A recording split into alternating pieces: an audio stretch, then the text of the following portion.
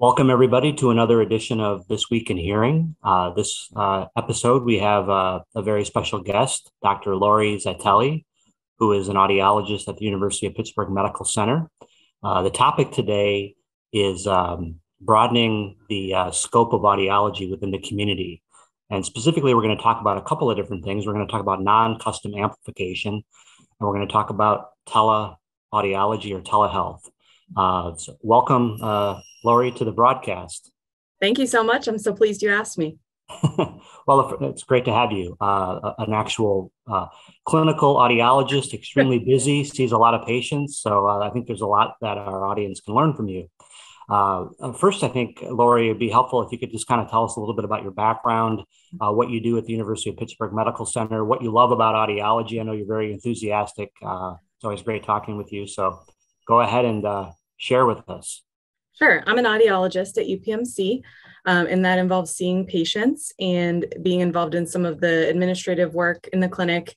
And I also teach a lab for audiology students at the University of Pittsburgh related to clinical procedures.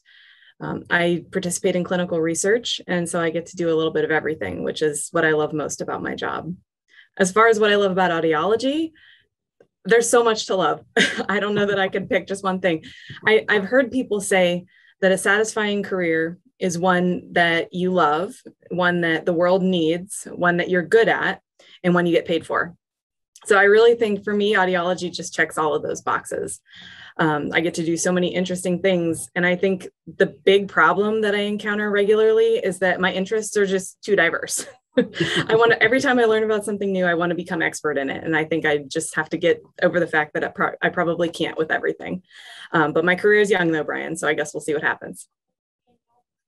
Yeah, no, that's good to know. I think that uh, I share some of those same interests that you do. I've seen your name in more and more places. I know you've written about a lot of different things. Um, just recently, you were the uh, guest editor for uh, one of the issues this year of seminars in hearing. Um, and uh, I know that you've uh, sat on some panels that I've been a part of over the years. Uh, I guess uh, the first thing I'd like to talk to you about um, is your experience with non custom amplification. I think this is a really uh, interesting, really dynamic kind of a place to be involved. Could you kind of explain uh, your role or, or how you implemented this program around non custom amplifiers at UPMC? Yeah, so we we have a big inpatient program and we have expanded to several outpatient clinics as well. And the goal of this program overall is interventional audiology. And I know this is a term that's near and dear to you, um, and it's become the same to us. So I think you first described this what back in 2013 with Rich Tysoe, and something like that, right? Yeah, it's it's something that we've been kind of obsessed with ever since we ever since you introduced it to us. All, Interventional audiology is all about um, finding the people who need our help but maybe don't realize it or they're not actively seeking our care. So it's all about um, intervening to try to improve their outcomes when something else is the primary concern. So we want to try to identify and manage their hearing loss even if that's not the reason they're being seen. The provider that they're seeing might also not have any idea that they have hearing loss or frankly they might not care. Um, mm-hmm. so it's our jobs to help the people um, who need our help recognize it and to intervene to provide the help in the moment that they're that they're receiving care. So that's the goal of our program. Um, and we do it in several different ways in several different settings. Yeah maybe you could explain some of those settings because i think when i think of inter- interventional audiology i think of uh, primarily when somebody goes to see their physician or a nurse practitioner mm-hmm. uh, somebody that maybe has a little bit of trouble hearing uh, there's so much of the message that they could miss because mm-hmm. of their hearing loss. And uh, anyway, if you could kind of explain specifically how you've uh, brought this program to life at UPMC. Yeah, absolutely. Um, so I mentioned we have an inpatient program and an outpatient program, and it's it's been so fun to watch them both grow over the last couple of years. So we, when I was an extern in our hospital system in 2011, we dispensed 36 amplifiers across the whole hospital that I work in over a year. Um, and I was just looking at the data related to last year, and we dispensed over a thousand. So that's wow. been really exciting. Um, it just keeps growing and growing, and we're we're trying to keep up, and we're we're doing it, but it's it's uh, sometimes a challenge. So we really attribute this increase um, to the hard work and dedication of our department, who just continue to show up and keep advocating for our patients who um, need us at every opportunity. Um, and on the outpatient side, we started our first outpatient clinic um, in 2014. So this was our post trauma clinic. I think I got the chance to talk about it at AAA that year. Mm-hmm. Um, so the way this clinic works is we acknowledge that people who are discharged from the trauma unit probably don't have all the information that they need or maybe don't understand all the things that they need to do uh, at the point that they're discharged so we bring them back within two weeks and there's an outpatient interdisciplinary clinic where we try to consolidate all of their rehabilitation resources so there's a, an audiology provider physical therapist occupational therapist um, nutritionists, um, advanced practice providers who are running the clinic. And the goal is to give them all of the resources that they need to facilitate their recovery. So we started this in 2014 and we showed up every time they had clinic faithfully and continued to preach our gospel about how untreated hearing loss interferes with health outcomes. And eventually the providers became converts um, and we started receiving other invitations to be participating in other similar clinics so now we're in um, the ENT head and neck cancer uh, survivorship clinic. We are in perioperative clinic, which is our newest adventure. And we have two outpatient ger- geriatric clinics at UPMC that we have an embedded audiologist in. Um, we also have audiologists and students and communication facilitators in senior living facilities that are operated by UPMC. And we've partnered with our home health colleagues as well. So we we're like we're you're tripping over us. We're everywhere. It's it's great, and we are just hoping to continue expanding um, what we're doing. Well, I think the number one that's a lesson in how important it is to be uh, actively involved to kind of take audiology to other departments mm-hmm. rather than sit back and wait for people to send people to you.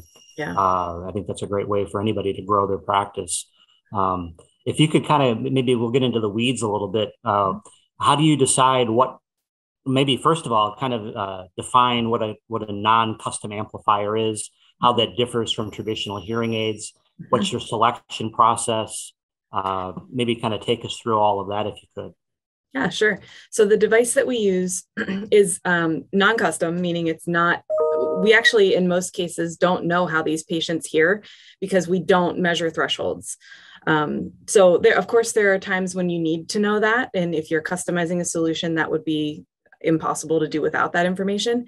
Um, but in the situations where that we're in, we're trying to identify someone with hearing loss. So in that case, a screening is often helpful. So that's a mm-hmm. pass fail activity. And really all it tells us is that they have impactful hearing loss or they don't. Mm-hmm. And then if we determine, it helps us to identify who might need us. So if they fail the screening, we can use a non custom device that has a headset with a cable that goes to a microphone and there's a clip on the back of the microphone so you can put it on the patient's lapel or in their pocket. Um, it's hands free nobody has to worry about carrying it or managing it. And throughout these interactions with other care providers it goes with them wherever they go.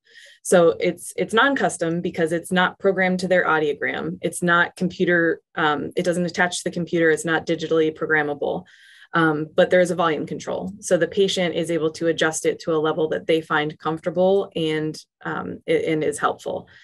So the device that we use um, is very low cost and is simple for people to operate, eh, which is important because once we teach them how to use it, they they have to use it with their healthcare providers and we're not present. Mm-hmm. Um, and it's um, effective. So the it really kind of checks all the boxes for us it's we i don't know if i'm allowed to say the device that we use but i oh, guess okay. i'm not okay it's a sonic technology super ear is the device mm-hmm. that we use mm-hmm. and we get a really good price on them because we order so many of them mm-hmm. yeah that's the uh the, the volume uh, discounts are always good yeah um, maybe you could uh, maybe share some of the uh, stories around what uh, providers healthcare providers and what mm-hmm. uh, patients uh, say about this uh, type of intervention? Yeah. So we it's really fun to interact with some of the providers who have used them because I think especially um, some of the busy hospital providers um, they, they don't always think about hearing and when you're able to give them the opportunity to see the difference that it can make for themselves. I think sometimes that's just what they need. You can tell them anything you want to tell them, but until they see the difference for themselves with one of their own patients, I think that's what makes it stick. Um, mm-hmm. so, one of the surgeons that we work with loves to tell the story of a patient that she was working with who was very groggy, um, not totally unresponsive, but just not totally with it. They were really concerned about a brain bleed. So, they were about to order some imaging, and her intern, who was rounding with her, was like, Oh, there's I, I, see one of those headsets over there. I, I've seen them before. I'm familiar with them. Um, maybe we could try that and see if it helps. So they put the the headset on and they start talking to them through the microphone to the patient, and he just perks right up. He's totally fine. He just couldn't hear them when they were trying to yell at him.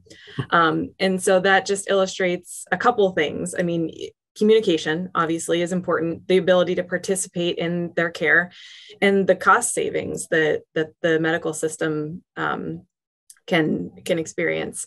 So we know that untreated hearing loss is linked to a whole bunch of horrible things um, related to healthcare outcomes, and if we're able to identify and mitigate it, it it reduces those things. So yeah, you're right. And go ahead. Think, I'm sorry. No, um, we had a Nick Reed was on uh, an mm. episode a few a few weeks back, and he went into some of the details, some of the data to kind of underscore what you're seeing in the clinic. I think with your with with uh, your testimony here. Yeah, I think the data are really compelling, and we we see this stuff day to day.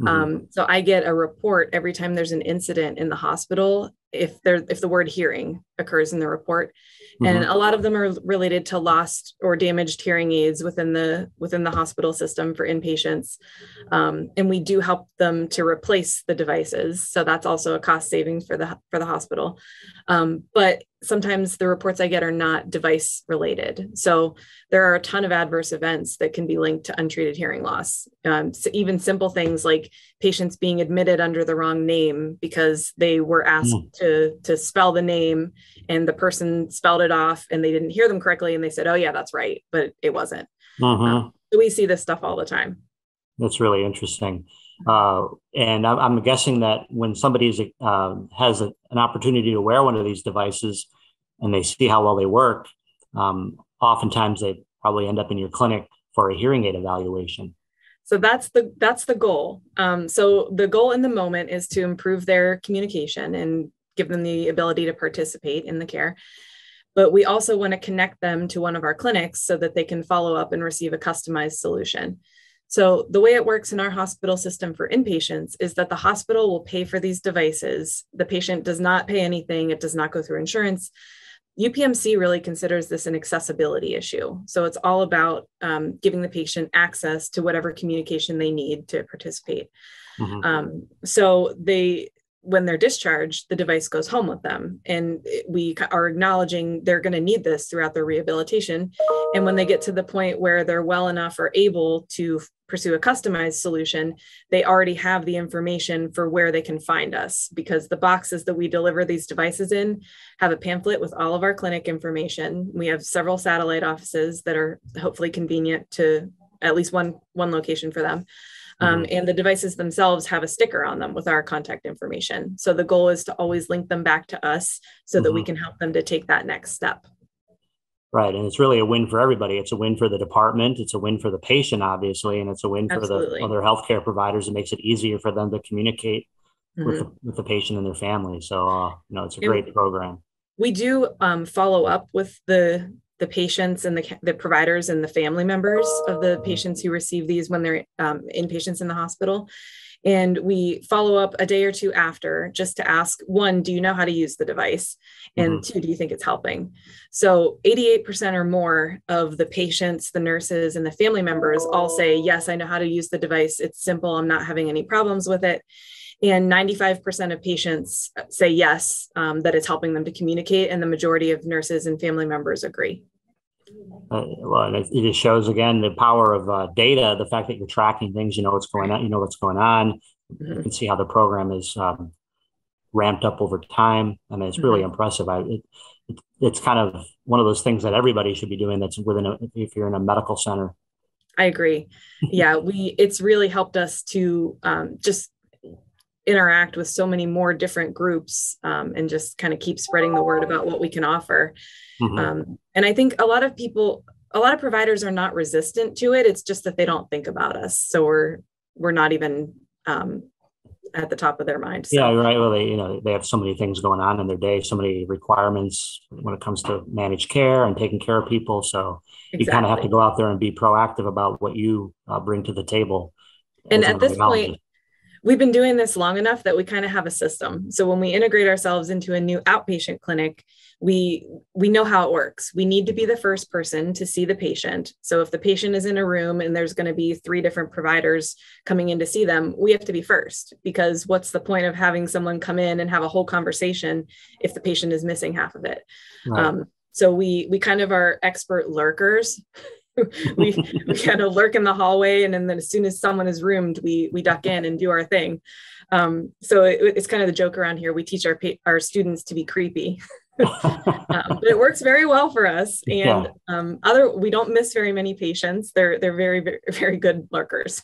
Yeah i don't think i've ever heard audiology and lurker in the same sentence so that's kind of uh, that's a thing, very, thing, very memorable way to think of things yeah. well, the other thing I wanted to talk to you about and why I wanted to have uh, have you on the episode was uh, around um, your writing, uh, what you've talked about uh, when, with respect to telecare, mm-hmm. um, and uh, it, for for anybody out there that wants to read what Lori wrote. Uh, seminars in hearing. I think it came out maybe in May or June. Mm-hmm. there's some excellent articles in there about telecare. Um, maybe explain to us um, what you do around telecare, how it benefits you and it benefits the patient uh, at UPMC. Absolutely. So before the COVID 19 pandemic, we didn't do very much at all. Um, it's and it's not that we didn't want to, it's just that we didn't need to. So then it was it was a matter of are we going to expend all this effort to ramp up for this um, when when at this point all of our patients' needs are being met, or so we thought. Um, mm-hmm. So it, the juice wasn't worth the squeeze at that time, so to say. um, so then COVID 19 hit, and suddenly we were forced to come up with new and creative and interesting ways to provide care to people that we couldn't access face to face. So, pretty much overnight, we geared up to, uh, to do video visits, either from the office or from our own homes, because a lot of us were still uh, working from our homes at that time um, telephone visits, um, finding a way to hide your personal cell phone number if you were calling from home.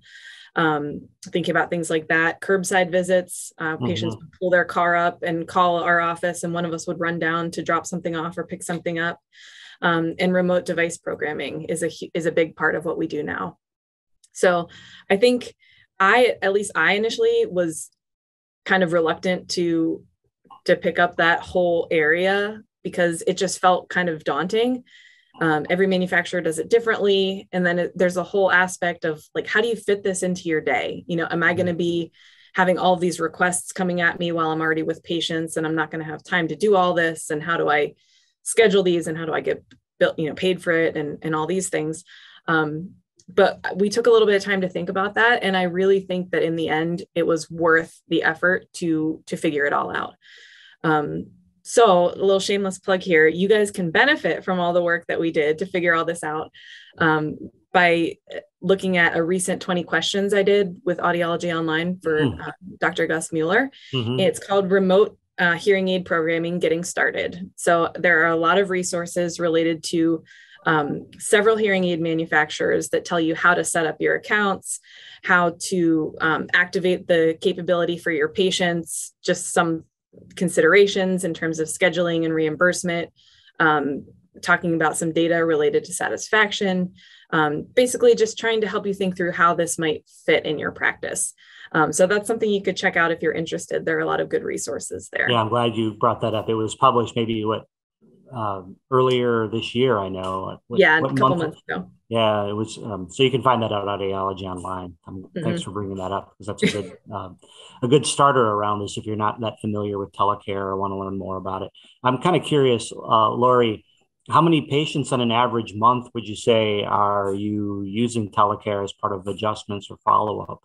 So my coworkers tease me that I never want to see a patient in person again because I try to make a lot of things telemedicine if they can be.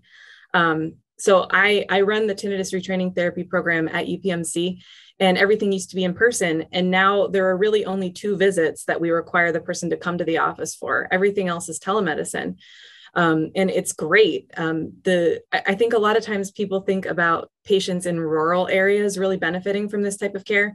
But if you saw the hospital that i work in and the, the part of town and how difficult it can be to get there and navigate through the hospital and pay for mm-hmm. parking and and all that our patients really, really like it, and they are very much appreciating the opportunity um, to to receive that type of care. Yeah, no, um, no doubt. I think audiology, I think uh, uh, adult hearing aid fittings are an ideal place for telehealth.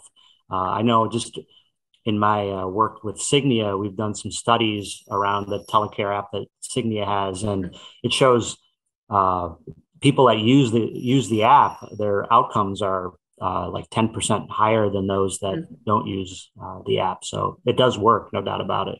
Absolutely. It's great. And, and patients love it. And um, just like in general, not even specific to remote programming, I things are so crazy right now, um, just with COVID nineteen and, and, closures and things.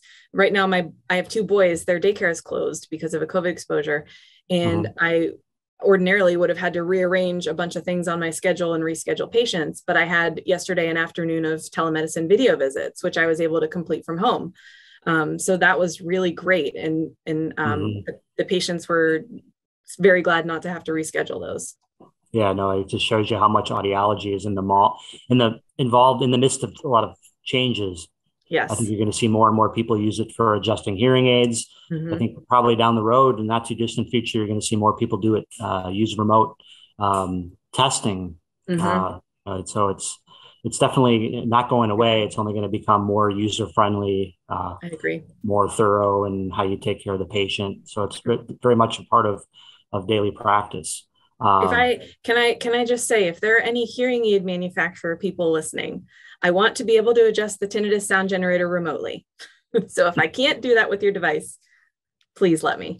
well, I hope everybody that's in in uh, industry heard that. Uh, uh, well, I just wanted to, as we kind of wrap things up here, uh, Lori, any, uh, you know, one of the things I really admire about you and about UPMC is how uh, active you are uh, within the healthcare center there. Uh, you don't sit, like I said before, you don't just sit in your office and wait for people to come to you. You actually get out there and get really involved. Uh, and I think we literally chase them. We, yeah, I mean, it makes a tremendous difference. It, to me, that's a lesson for everybody in the profession to learn from. Mm-hmm. Um, so, if there's one thing about your experience doing that mm-hmm. uh, that you could share with us as we wrap things up, what would it be? I think it's exactly what you said, Brian. You keep showing up and you keep um, taking uh, taking advantage of opportunities to connect with patients and providers and show everyone the value of what you can provide to them. So um, this program wasn't built overnight. We've been Dr. My director, Dr. Catherine Palmer, has been laying the groundwork for this for years, and we're just over the last couple years really seeing it take off. And um, it's it's been really fun to watch. So, but it, it only happened because we kept showing up. So that would be my advice. It shows you uh, success in life. Half of it or more is just showing up and being there. Right. so uh, uh, a, a, real rising star in audiology, Lori Zitelli. Uh, we're so happy that you could be here. Um, you know all the great things that you. It just I, I really admire the fact that you're not only seeing patients, but you're writing uh, you're getting recognized for that. Uh, so thank you so much, Laura, for being on the broadcast today. Really, thank you so much it. for asking me. It's always fun to talk to you. Yeah, likewise. Have a good day. Thank you. You too.